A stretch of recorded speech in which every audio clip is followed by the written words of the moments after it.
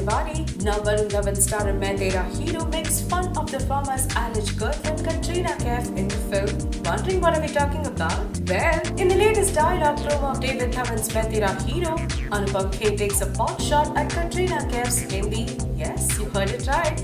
But no worries, coming to the rescue, Varun defends the heroine. Check out the video out here. Going by the promo, Anupam, who plays Ileana and Nargis's father in the comedy flick, tells Varun, तुम्हारी हरकतें कुत्ते की दुम और कटरीना की हिंदी ऐसी है कि कभी सीधी हो ही नहीं सकती Varun however comes to rescue by saying, sir, आजकल उसकी हिंदी अच्छी हो गई है.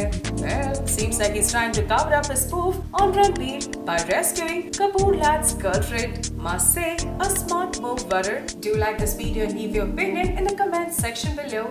And don't forget to subscribe to Bollywood Uncut.